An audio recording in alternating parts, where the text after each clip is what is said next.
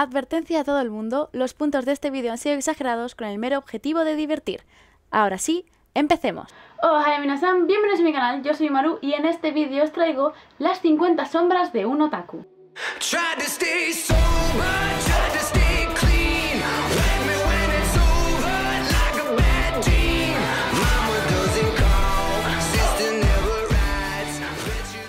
Número 1. Que alguien denomine el anime como dibujito chino. ¿Cómo que dibujito chino? ¿Eh? Ni que fuera para niños, si yo te contara. Número 2. Rezar al Kami-sama y no a Dios. Mierda, he suspendido. Yo no soy muy dado a esto, pero por favor, Kamisama, mi señor Kira, un, un milagrito no estaría de más, un ataque al corazón al profesor, a, a- a quien fuese. La verdad, me, me vendría muy bien, por favor, Kamisama, te, te lo ruego. Número 3. Buscar cómo se escribe tu nombre en japonés y darte cuenta que en muchas ocasiones es imposible. Número 4. En muchas ocasiones llegar a insultar a tus amigos como Bakaeru o Konaeru. Número 5. Ser un pesado con tu anime favorito hasta conseguir que todo el mundo se rinda y termine viéndolo. Death Note. Este anime no me lo mueve ni Dios de la primera, del primer puesto porque es genial. De momento nadie ha conseguido desbancar a mi querido Death Note amo este manga. Death Note sigue a la cabeza de este genial top. Hacer que todos tus amigos y gente de tu alrededor se haga fan de los Kigurumis porque son maravillosos.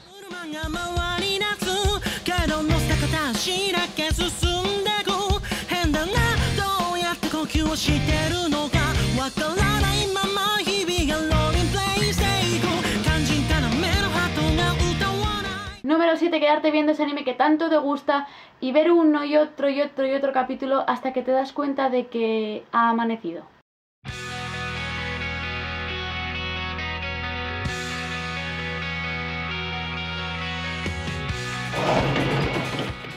Empezar en el mundillo por ver el anime en la tele. Dios, es que, ¿quién no ha visto el detective Conan? O sea, ¿qué recuerdos? Pero es que, vamos a ver, por favor. ¡Ay, mi detective Conan! Número 9. Ser alguna vez víctima de un cartel de abrazos gratis.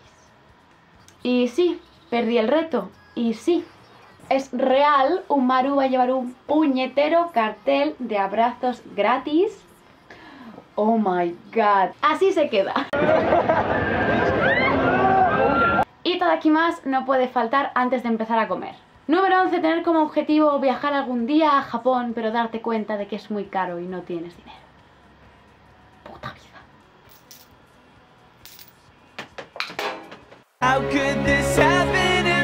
Número 12. Piensas que los dorayakis son de chocolate, pero cuando pruebas uno te das cuenta de que son de judías. ¡Qué decepción! ¡Qué asco, pero qué cojones tiene esto! Número 13. Solo los fans de One Piece saben lo que se siente cuando se llora por un barco. ¡Merry!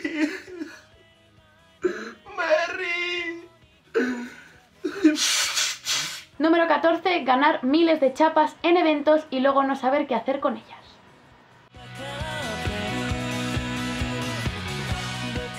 Número 15. Imitar o intentar imitar sellos de Naruto alguna vez en tu vida.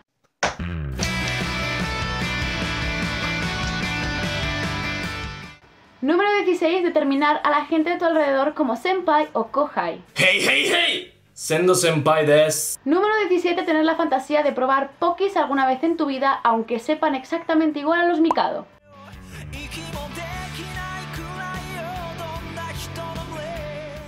Número 18. Cantar openings y endings en japonés sin tener ni idea del idioma.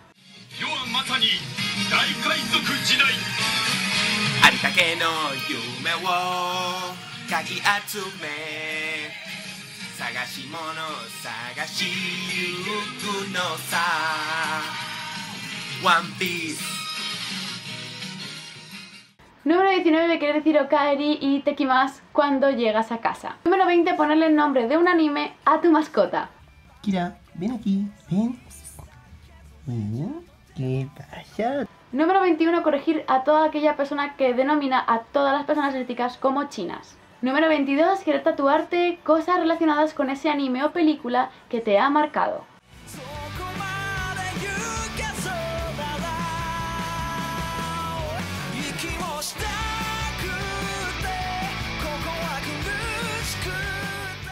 Número 23. Tener una montaña de mangas sin leer, pero no poder evitar seguir comprando su colección para no quedarte atrás. Número 24. Intentar aprender japonés para entender mejor los animes y mangas y obviamente algún día viajar a Japón. Número 25. Hacerte fan de aquellos grupos que crean los openings y endings de los animes.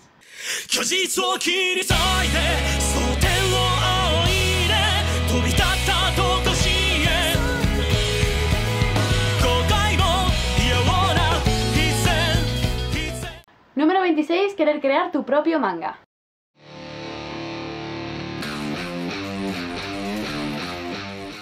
Número 27, catalogar a todo como si fuera kawaii o kawaii. Kawaii. Número 28, intentar por lo menos una vez en tu vida hacer un cosplay, aunque no sea el mejor del mundo. Número 29, intentar salir por patas cuando te van a hacer un spoiler. ¡Ey, tía! ¡Ya ha salido el nuevo capítulo de Goku no Hero! Ah, ya lo sé, ¿has visto el parte de Goku? Número 30, indignarte porque alguien no ha visto X anime. Mi- mira, eh, no me creo que no te hayas visto aún Evangelion. En serio, es que... ¿Qué haces con tu vida? ¿Cómo es posible que aún no te hayas visto Evangelion? Es que no me lo creo. Número 31, tener toda la habitación como un colador por tener tantísimos pósters. Número 32, tener tantísimos mangas que te quedas sin espacio.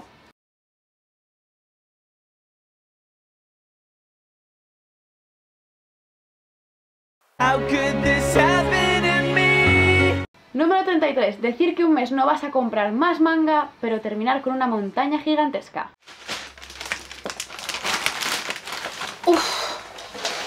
Compras manga hechas. Madre mía. Otra vez se me ha vuelto a ir de las manos. Definitivamente yo el mes que viene ya no compro más manga. No, me niego. Sí, claro, eso ya lo he escuchado yo muchísimas veces. Siempre dices lo mismo que no vas a comprar y luego te cargas. No, pero este mes lo digo en serio, ya no compro más mangas. Que sí, que Ya, sí. hacer bondad hasta como mucho al mes Que te siguiente. Ya no compro más. Claro que sí, guapi. Ni guapi ni tonterías. He dicho que no compro más y no compro más este mes.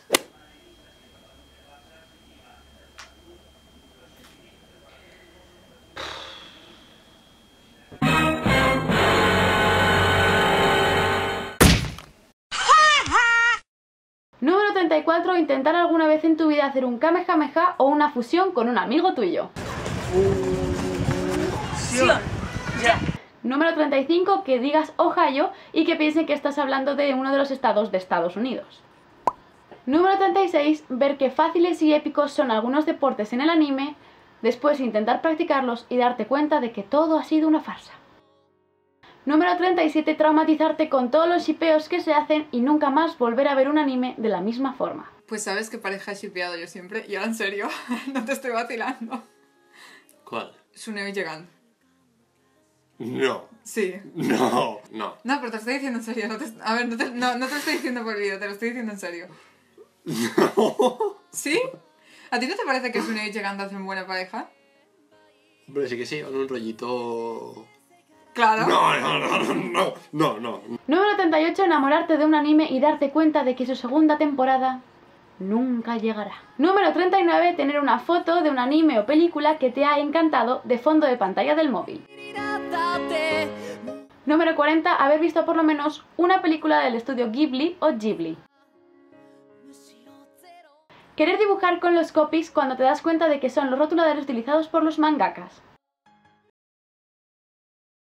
Número 42. Odiar todo aquel doblaje que sea ajeno al tuyo.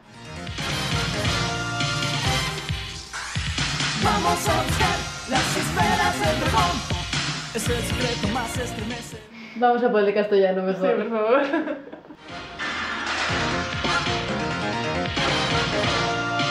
Bola de dragón.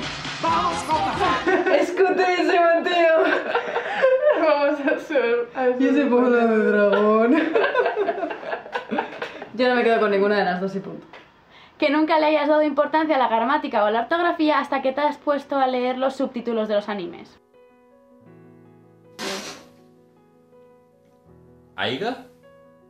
¿Cómo que Aiga? Número 44. Salir del kigurumi y sentir como si te estuvieras congelando. O en su defecto, como estoy ahora mismo, mm, recién terminado veranito, pues te cueces. Número 45, hacer que una persona que no conoce el mundo del anime por lo menos vea una película del mismo. Hey compañeros, pues para mí había una película que yo la veía cuando era un canijo, pero es que no la entendía, me trastornaba el cerebro, pero quiero volver a probarla, pues sí, era El viaje de Chihiro. Número 46, estar leyendo manga en público y que te aparezca una escena poco apropiada.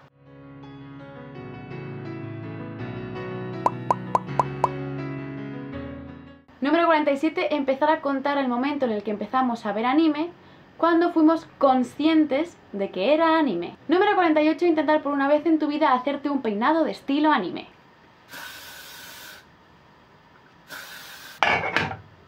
Esto es imposible. Número 49, intentar dibujar en estilo manga. Número 50, ahora os toca a vosotros decir aquellas características de nuestra querida comunidad que nos diferencian de las del resto. Y esto ha sido todo por este vídeo, llevaba más de año y medio queriendo grabarlo, este guion lo tenía escrito hace mucho tiempo, pero no sentía que era el momento de hacerlo. Quería que este vídeo llegara a mucha gente y creo que va a gustar mucho porque no sé, es algo que obviamente es comedia y también con toda la ayuda de amigos y youtubers que he obtenido para este vídeo estoy muy feliz. Así que muchísimas gracias a todos los youtubers y a todos mis amigos que me han ayudado a realizar este vídeo. Aquí abajo en la descripción os voy a dejar cada uno de los puestos en los que salía un youtuber y su respectivo canal para que vayáis y los conozcáis. Así que eso, estaré esperando vuestros comentarios con más sombras que no os identifiquen a esta comunidad. Si te ha gustado el vídeo no olvides compartirlo para que llegue a más gente de nuestra comunidad y que se rían con estas características que tenemos. Y también dame un likecito y suscríbete aquí abajo si aún no lo has hecho. Y nos vemos muy muy prontito en un nuevo vídeo. ¡Mi!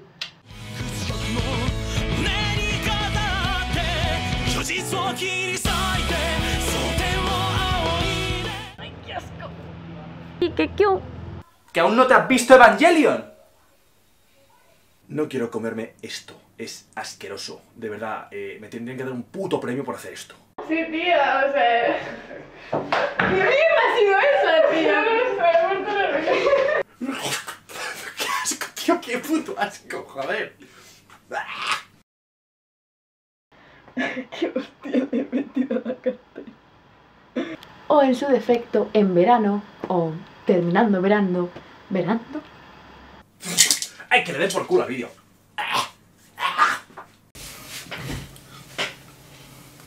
Me estaba centrando, ¿vale?